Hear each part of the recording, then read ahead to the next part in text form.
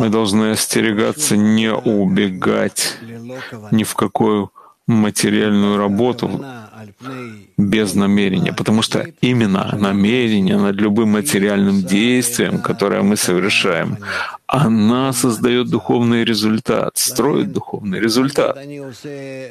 Поэтому, ну, скажем, я делаю трапезу для товарищей, накрываю стол,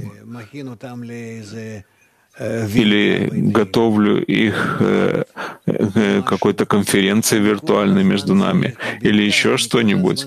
Я все время должен. И главным образом я должен все время быть в том, для чего я делаю, что я делаю, что я хочу, чтобы это дало каждому и всем вместе. Главное — это намерение, все время жевать, пережевывать ее все больше и больше, и в сердце чувствовать насколько я в этом нахожусь. А внешние действия мы увидим, что они постепенно исчезают. Творец приближает наш материальный мир к состоянию, когда он все время все больше исчезает и входит в духовное все больше и больше. Это и в наших материальных работах, в семьях, с детьми, между нами, в связи между нами. Все это постепенно. Мы еще не очень-то это чувствуем, но это испаряется. Это становится, скажем, как в технике. Когда-то были огромные машины, механизмы. Сегодня, я помню мой первый компьютер.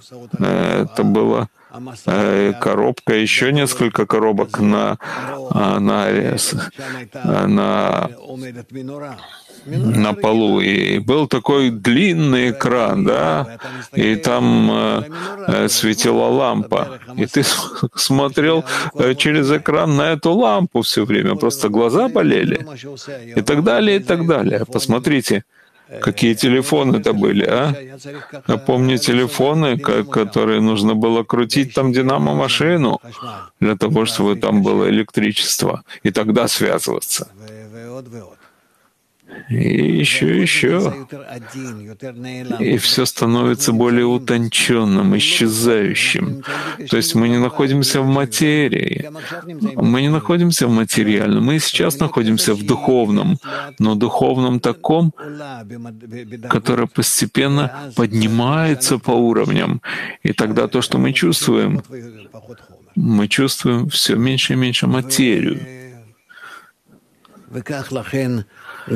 И так поэтому и в нашей э, работе, в связях между нами. Ладно.